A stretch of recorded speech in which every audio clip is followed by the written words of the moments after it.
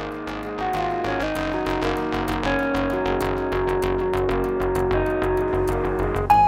มินิประเทศไทยเปิดตัวมินิจอห์นคูเปอร์เวิร์กส์คอนเวอร์ติเบิลใหม่ พร้อมทั้งจัดกิจกรรมมินิจอห์นคูเปอร์เวิร์กส์ track day ให้สื่อมวลชนและลูกค้ามินิ ได้ทดลองความแรงแบบเต็มพิกัด ณสนามช้างอินเตอร์เนชั่นแนลเซอร์กิตจังหวัดบุรีรัมย์โดยในทริปนี้ ทางมินิยังได้นำรถมินิจอห์นคูเปอร์เวิร์กส์มาให้ลองกันอีก 3 รุ่น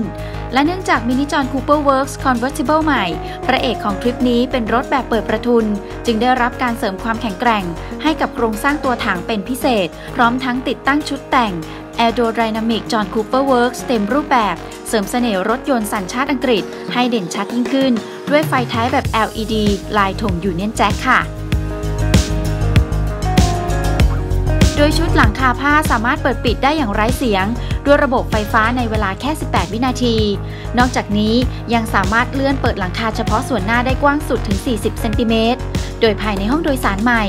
ตกแต่งแนวสปอร์ต ด้วยพวงมาลัย multifunction หนังแท้สีดำตะเข็บด้วยด้ายแดงแป้นเบรก คันเร่ง และที่พักเท้า stainless steel มือจับประตูและที่หุ้มเกียร์ รวมทั้งเพดานห้องโดยสารสีดำ เพิ่มความเพลิดเพลินขณะขับขี่ ด้วยพลังเสียงจากลำโพง Harman Kardon hi-fi ถึง 12 ตัว พร้อมจอระบบสัมผัสขนาด 8.8 นิ้ว และเทคโนโลยีเชื่อมต่อมินิคอนเน c เต็ดเพื่อการเชื่อมต่ออย่างไร้ขีดจำกัดกับสมาร์ทโฟนด้วยค่ะ ส่วนขุมพลังเครื่องยนต์ 4 สูบขนาด 2.0 ลิตร ที่ทรงพลังที่สุดของมินิ ด้วยเทคโนโลยีมินิ TwinPower Turbo ให้พละกำลังเทียบเท่าฝูงม้า 231 ตัว กับแรงบิดสูงสุด 320 นิวตันเมตร ส่งกำลังผ่านเกียร์อัตโนมัติ Steptronic 8 speed แบบสปอร์ต สามารถเร่งความเร็วจาก 0 ถึง 100 กิโลเมตรต่อชั่วโมง ภายใน 6.5 วินาที และความเร็วสูงสุดที่ 240 กิโลเมตรต่อชั่วโมงค่ะ การตอบสนองของรถขณะวิ่งอยู่ในสนามช้างมินิจอห์นคูเปอร์เวิร์กส์คอนเวอร์ติเบิลใหม่ เป็นรถที่ขับสนุก ด้วยอัตราเร่งตอนต้นจัดจ้านกับการเร่งแซงช่วงความเร็ว